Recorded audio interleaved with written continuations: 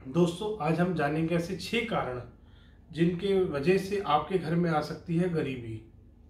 सबसे पहला कारण होता है, अगर आपके भी घर में सूखे हुए पेड़ हैं, खासकर तुलसी का पेड़ अगर आपके घर में सूख रहा है तो ध्यान दीजिए कि ये नेगेटिविटी दिखाता है कि आपके घर में बहुत नेगेटिविटी है। आपको नेगेटिविटी रिमूव करने की ज़रूरत है। ये आपके घर में गरीबी ला सकता है। दूसरा पॉइंट आता है दोस्तों मिरर का। आपके बेडरूम में वास्तु के हिसाब से मिरर नहीं होना चाहिए। और अगर मिरर है तो वो बेड को फेस नहीं करता होना चाहिए। अगर आपके घर में, आपके बेडरूम में मिरर लगा हुआ है और वो बेड को फेस कर रहा है तो वो आपके घर में एक गरीबी का कारण बन सकता है। उसको आज ही ढकें या उसको हटाएँ वहाँ से। तीसरा पॉइंट आता है दोस्तों इसमें बेड का।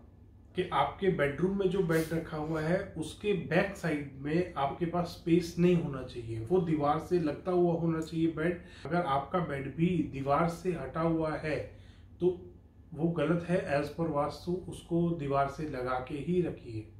चौथा पॉइंट आता है दोस्तों, गैस बर्नर का। हम बहुत बार ध्यान नहीं देते इस चीज़ पे। हम गौर नहीं करते। हमारे गैस बर्नर आधे आधे जल रहे होते हैं, कम जल रहे होते हैं।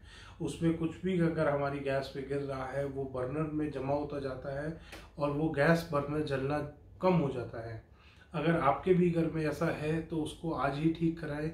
ये कारण बन सकता है घर में गरीबी का। फिफ्थ पॉइंट आता है दोस्तों, टॉयलेट डोर का। आपके घर में जितने भी टॉयलेट हैं, उनके दरवाजे आपको बंद करके रखने हैं।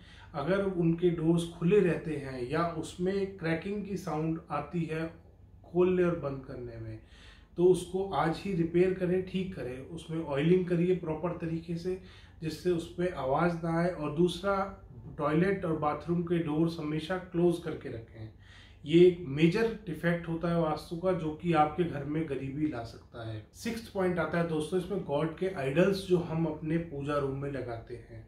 कभी भी कोई भी गॉड का आइडल आप लगा रहे हैं, वो नाइन इंचेस से ऊपर नहीं होना चाहिए।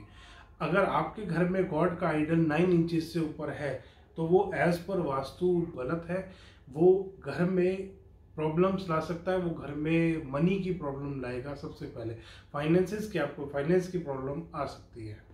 Thank you for watching this video अगर आपको वीडियो पसंद आया है तो आप इसको लाइक करें शेयर करें कमेंट करें नीचे, और सब्सक्राइब करना ना भूलें चैनल को।